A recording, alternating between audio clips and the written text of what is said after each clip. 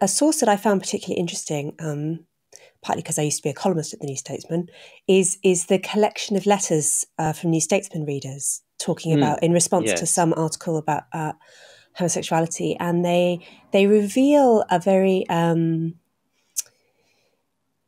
quite measured opinions uh, um, among members of the public. And the one thing that really stood out to me is that more reasonable people tended to view sort of steady relationships, let's say, um, what's sometimes quite charmingly referred to as living as married kind of relationships, as um, sort of fine, you know, people keep themselves to themselves.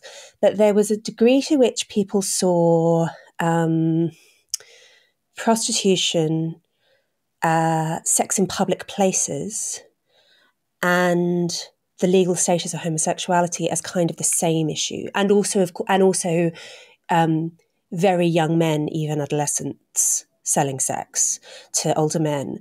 Th- th- that was a kind of a bundle of issues, and to some extent, what what what um, gay campaigners managed to do direct successfully was to disentangle that bundle and to say no actually people having same-sex relationships is not necessarily the same thing as these other concerns that people have. Do you think do you think is that an accurate representation of how the debate went I think that that's that's very accurate. Yes, and I I think um, it has to be said that the New Statesman and um, the Spectator generally the editorially took a very liberal view and both thought that the, the law should be changed. And not all their readers agreed. So you do get these debates within the letters columns. Um, the campaigners, I mean, modern um, sort of modern gay historians have been, I think, they're a bit hard on people like Peter Wildeblood, who who was involved in the Lord Montagu of Beaulieu case and went to jail. And then he wrote a book called Against the Law about his experiences, in which he said, I am homosexual, this is what it's like, and this stuff. And um, he's he sort of says, you know, we want we want proper respect, um, not for the sort of the mincing, painted boys who wander up and down the streets. And some contemporary historians say, you know, oh, you know, stuffy old queen. You know, what about you know the the the the outrageous people like Quentin Crisp?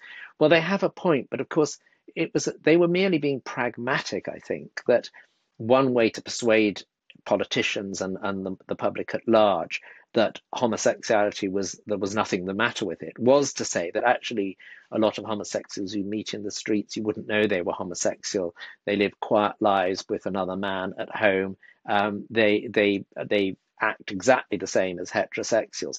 And of course that was a lot easier to present as the as it were the acceptable face of homosexuality but I think you know that was a, a, a very sensible tactic um, because in the in the press, in the tabloid press, you know, every time homosexuality was mentioned, you know, you'd always get painted faces, picking up boys, prostitution, as you say, those, those sort of things, um, and uh, and obviously that didn't give um, a very good, uh, you know.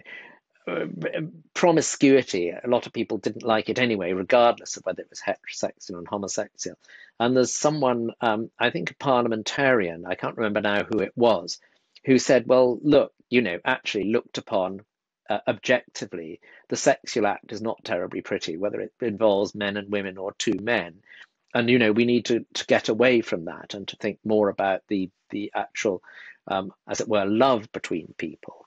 Um, uh, but uh, of course, you know, sensationalist press wanted to, to talk about, you know, the, the less um, publicly acceptable um, attitudes to uh, examples of homosexuality. But of course, it could it could equally be argued that the reason men were having sex in the park was that you know they, there was nowhere else for them to go. You know, they couldn't necessarily take someone back. They might be living with a landlady or you know in digs or something, and so it wasn't easy. Um, and I think that most people who had sex in parks, you know, were pretty discreet, found the thickest bushes they could. Um, though, of course, some of them did get caught, including Ian Harvey, the Conservative MP, caught with a guardsman in St James's Park. Um, but um, I, I, think it's. Uh, I think there was again in the New Statesman. I think one of the correspondents replying to a man who said, you know, I think it's very distasteful. Uh, you know, I, I want to have fun with my girlfriend. I don't want all these men having fun with each other. And, and the woman correspondent replies, well, you know, it, you may want to have your fun, but it's easy for you. You can have fun and nobody's going to jet. But actually, watching people have sex in a park, whether it's heterosexual or homosexual, isn't something everybody wants. There's this film, I've forgotten the title for a second, I'm sure you'll remind me, with Dirk Bogarde. And it's is it from this period where he plays the lawyer who's being blackmailed? Yes. That, what's it what's victim. it called? Victim. victim. Yes, really, it's 1961, really... so it's in right. volume two. Oh, great! okay, about it. Okay, okay. But I'm happy to talk about it. It's um... yeah, yeah. Please, I what I saw it maybe last year, and it's um, it's really fascinating. It's it's a bit, I think it's on YouTube. I mean, you, yeah, easily easily accessible, and it's such an interesting um historical artifact because uh, the Bogarde was was gay, right, and was it uh, was again one of these actors where people sort of knew, but it wasn't public. Yes, well, uh, it's hard to tell with Bogarde because he denied it so vehemently for so many years, and in fact never really acknowledged it. I mean, the thing was that he was a great matinee idol with many, many female fans. Young women adored him in things like The Doctor in the House and various romantic dramas.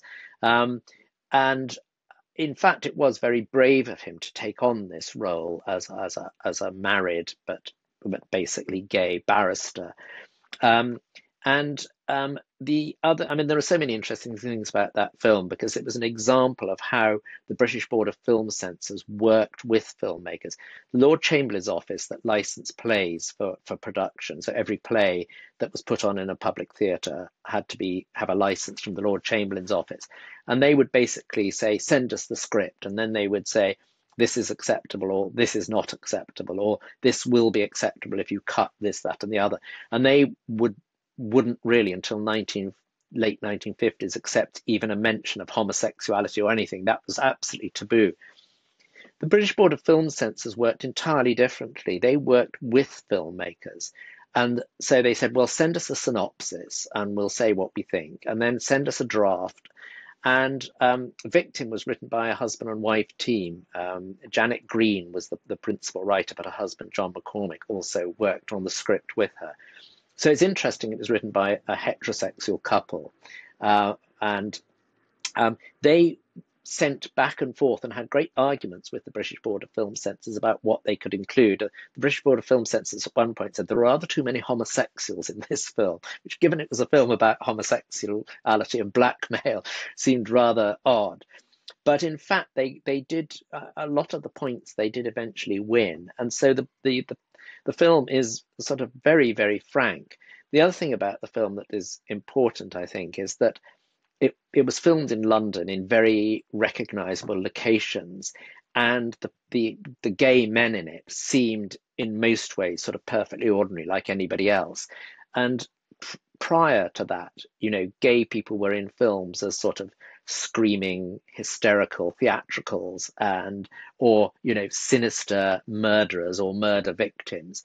Um, so it was interesting that that you know part of the film it, it, although it was a thriller it was clearly a work of proselytism intended to, to contribute to the debate.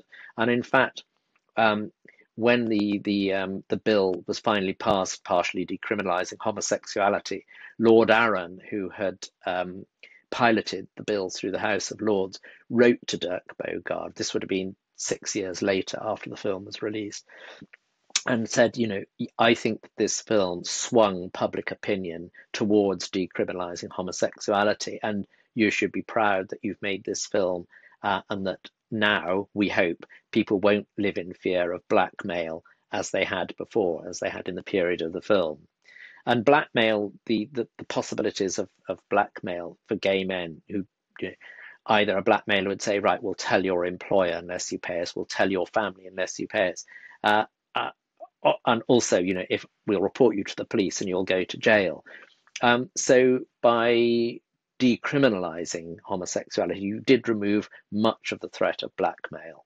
Um, obviously, people didn't want their families to know necessarily, but the the, the sort of the, the blackmail that you know did lead people to commit suicide and go to into despair, um, and a lot of um, a lot of the law change was to do with trying to eliminate blackmail. It was the great argument that one of the reasons homosexuality should be decriminalized was to put an end to blackmail, which was a, a, a worse uh, um, crime. And of course, gay men who were blackmailed, people would say, well, why didn't they go to the police? But if they went to the police, they might incriminate themselves as homosexual and therefore be, be um, uh, you know, liable to prosecution.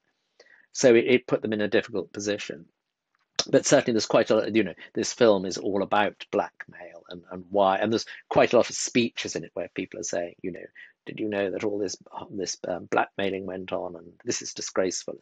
Um, but it's I think it stands up remarkably well. I've seen it many times, um, and I think it's a, a, a very good film.